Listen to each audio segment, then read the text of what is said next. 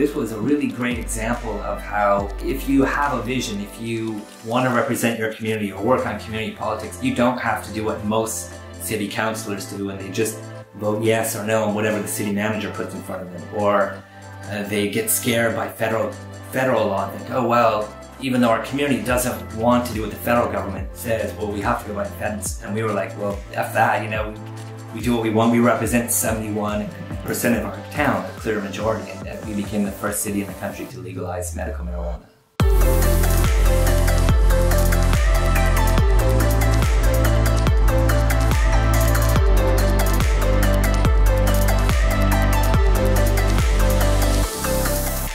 This is my friend Jason, and this is my friends do the coolest.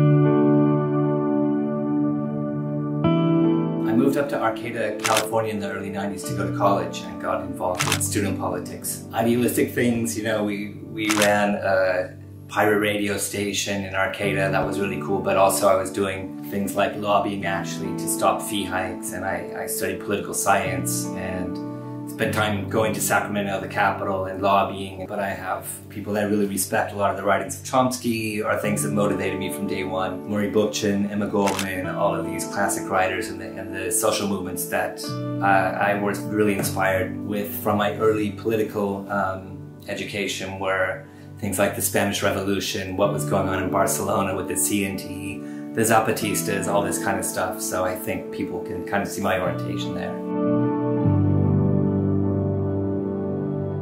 This is kind of rare for an anti-authoritarian for sure. But I have been reading a bit about Murray Bookchin and, and his idea of uh, getting involved in local politics. You know, some of those ideas we're seeing put into place in Kurdish Syria today, but at the time I was looking at his ideas called uh, confederal municipalism or libertarian municipalism and reading about getting involved in the local level. And then I had all of a sudden this position where I had to meet with a compatriot on the Arcata City Council who was a Republican who the first time I met him, he said, uh, we're, we don't like you students, you're always writing bad checks. We're thinking of banning uh, the ability for students to write checks at all in our town. You all ride your bicycle the wrong way on the one-way street. I thought, this guy's a bit of a jerk.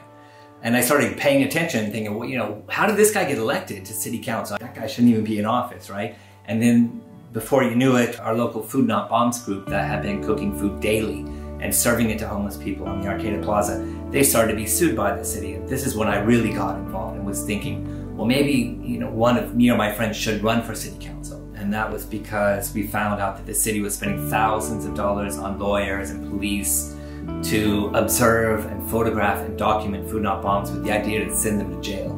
And me and others said, well, the city, if they're going to spend thousands, they should be spending thousands on feeding the homeless, not um, trying to throw people in prison for doing the job that the city should be doing. And then after discussions with Food Not Bombs and a lot of people around the community, we decided someone needs to run and take this position. And then uh, I don't know exactly how it decided that I would do it, but we had a big campaign for city council and I won. And I got elected to the city council for a four-year term. And then like most cities work, um, after two more years, there was an election and the council chose a new mayor and vice mayor. And I was chosen to be the vice mayor next to a mayor who'd been around a lot longer.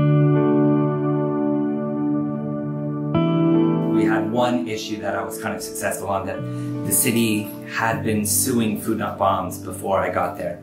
And then when I got elected, I, I the first thing I did was, say, was to ask, how much money has the city spent on city attorneys and police? And It was $30,000.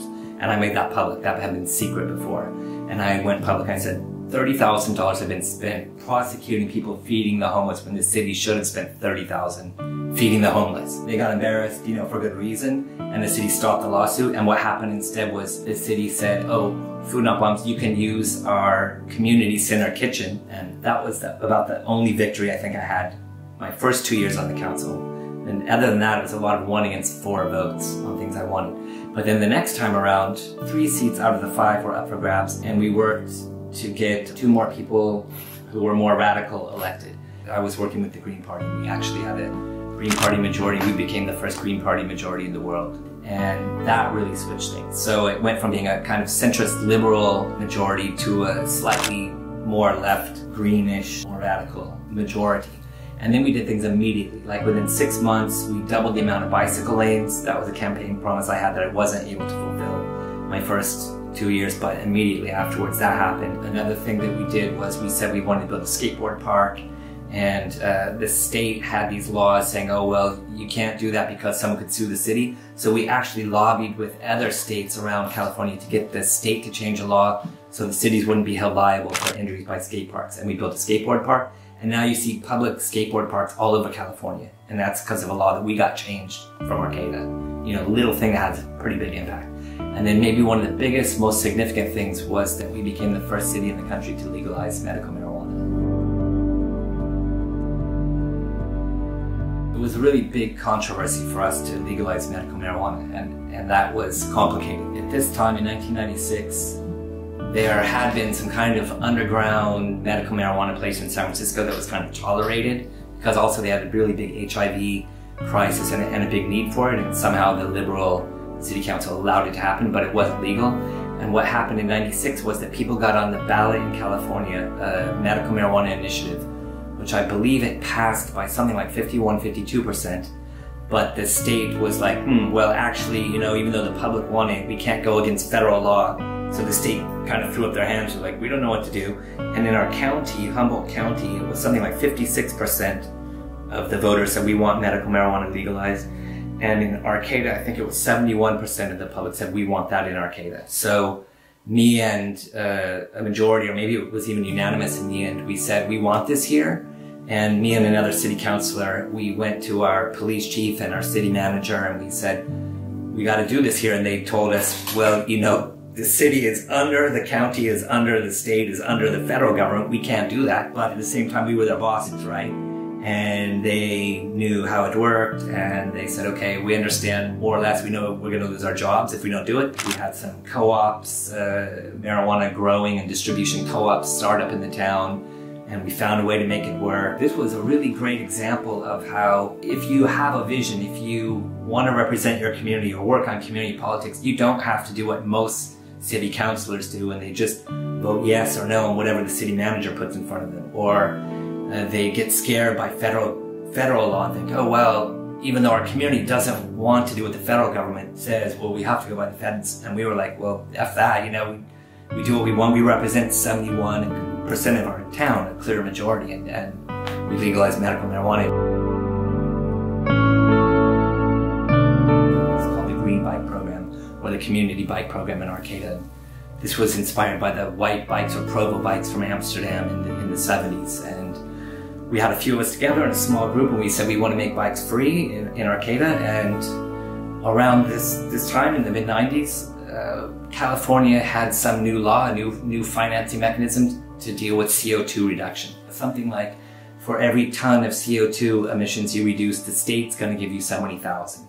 And we made up this formula and figured uh, somehow we had the statistic that the average person driving to work every day in Arcata drive something like seven miles round trip, something like that. And we figured, okay, if there's 17,000 citizens, half of whom are working, blah, blah, blah, they drive so many times a year. That means we're gonna concretely reduce 5,000, something like that, tons of CO2 a year if we have 100 bikes and just put them out for everyone to ride for free. We estimate every worker is gonna ride once a month. Some figure like that, we just made it up.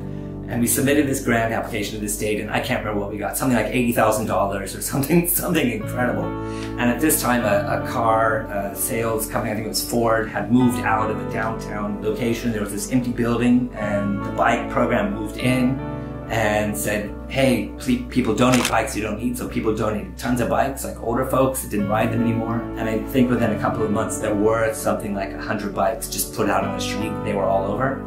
Uh, many got stolen, but we factored, factored that in. We just got bikes and we just kept fixing them. That worked fantastically. And also, we turned it into a job trainings program also for high school kids or even at, at risk kids, you know, kids that needed a skill. Uh, we had volunteer bike mechanics coming in, training kids.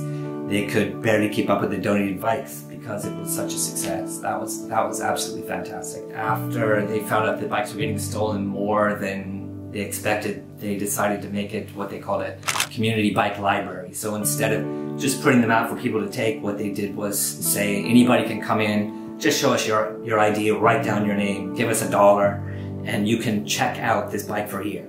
And you can renew the bike after a year, but it's your bike. Everybody who wanted a bike had one. At the local level, you know, we had a $16 million budget and I felt like that money belonged to the community and I was managing it. And, and that's money that I could see. Like, I mean, my friend had a kid, the kid went to the after school program and I was kind of responsible for this budget. So if my friend said, oh, well, they don't have enough toys or what, whatever it was, I could see, oh, well, we can fix that. And that's great, you know, because I think people forget that at the community level, that's something that you can have big impact on, and, and that's your neighbor and you paying taxes. I mean, no matter who you are, almost, you know, everyone pays taxes, whether it's sales tax or from your, um, your paycheck or your property taxes. Everybody pays taxes. And a lot of people just pay their tax and like, you know, throw up their hands. Your taxes don't just go to the federal government. In DC, they go to the state, the county, and your community. It was tough to get elected. It was a campaign, but actually, you know, the campaign was just two or three months. It wasn't like a permanent presidential election in America. And in a town of 17,000, which is pretty small, we had six or 10 people that made it happen. You know, we, we drew up a little map of Arcata, marked some streets in yellow with a highlighter and divvied them up. And I think with six or 10 friends, we covered every door in Arcata within a couple of months.